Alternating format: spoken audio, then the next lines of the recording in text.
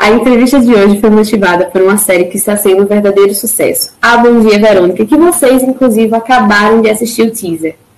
A produção é original da plataforma streaming, que é nacional, e tem grandes nomes, como a Camila Morgado, o Eduardo Moscovitz e a grande protagonista, que atua, inclusive, é, interpretando a personagem Verônica, que é a Taina Miller.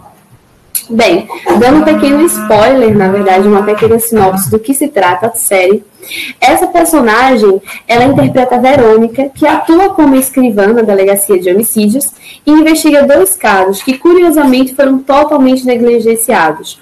Um diz respeito a um homem que droga mulheres e abusa sexualmente delas, e o outro é um serial killer, que também ataca mulheres. Bem, essa personagem ela interpreta uma policial muito guerreira que se fala em um meio onde o silêncio prevalece. É com muita honra que eu apresento a vocês, a Taina Miller. Estamos imensamente felizes por ter uma profissional de tanta competência, uma carreira tão bonita que tem trilhado ao longo desses anos. E essa série ela traz, na verdade, uma personagem muito marcante por diversos fatores e um deles é a representatividade. Tainá, seja muito bem-vinda. Oi, pessoal. Queria dizer que é uma honra esse convite. Eu admiro muito o trabalho é, de vocês, assim, de quem, de toda essa mulherada que está é, procurando trabalhar também na parte criminal. Para mim, vocês me inspiram muito com a minha personagem. Eu tive a oportunidade de conhecer algumas profissionais da perícia, algumas escrivãs de polícia, enfim, é, mulheres que estão aí nessa linha de frente é, para combater o crime no Brasil. Então, eu vou dizer, deixar registrado aqui de admiração pelo interesse de vocês e dizer que a gente precisa muito da Pô, Tainá, coisa linda. Então, nós temos algumas perguntas, e a primeira delas é: como foi o processo de construção da personagem Verônica? O processo de construção foi é, em conjunto com o Zé Henrique Fonseca, com os, os, outros atores que eu trabalhei, e também tive a oportunidade de fazer laboratório na DH, de, na DH do Rio de Janeiro. É, Nossa, incrível. É, eu, eu, frequentei a DH e, e, ali eu tive muito contato com o trabalho de vários profissionais, como eu falei, né, inclusive da perícia. É, eu tive, eu fiz também um treinamento no CORE e, e foi assim, um, apesar de eu já ter feito um filme que tinha um pouco a ver com esse universo, que foi o Tropa de Elite 2, lá naquele, na, no Tropa eu fazia uma jornalista e não uma policial, então nesse eu pude aprofundar um pouco mais. E olha que engraçado, eu antes da pandemia, eu ia fazer uma outra série onde eu seria uma advogada criminalista e eu tive palestras com Guido Palombo, que é psiquiatra forense, lembrei agora de vocês por causa do congresso. Então é muito engraçado que acabou que essa, essa temática, não sei por que me chamou agora, né, nesse, nesse momento. E eu sou muito grata, assim, porque realmente é um universo muito interessante e eu, como jornalista, gosto e, e me interesso muito pela parte da investigação.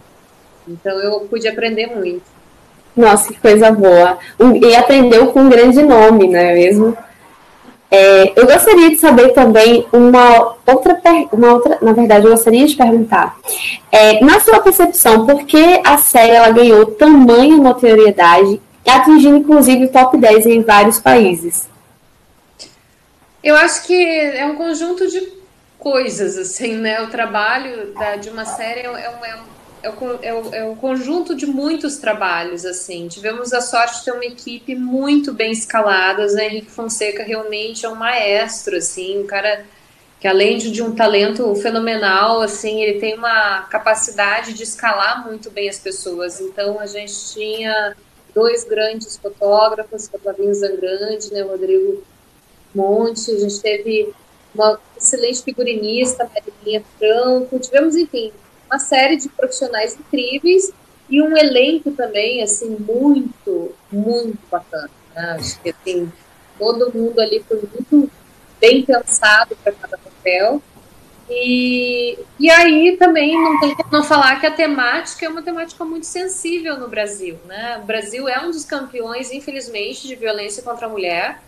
É, é um país muito brutal, muito violento para se ser mulher aqui, né? Acho que vocês que estão nessa área sabem bem assim como é.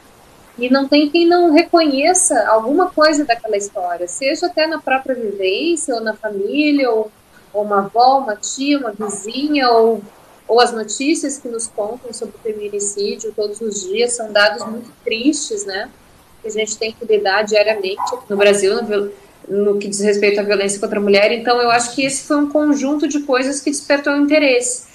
E agora, gente, tem a segunda temporada, que eu já estou me preparando para acabar. Então eu conto com vocês para assistirem e divulgarem essa segunda temporada, que se tudo der certo, estreia já no primeiro semestre do ano que vem. Não, com certeza. Nós estaremos não só divulgando, como também assistindo, né? A primeira temporada, assim, foi impecável e deixou aquele gostinho de quero mais.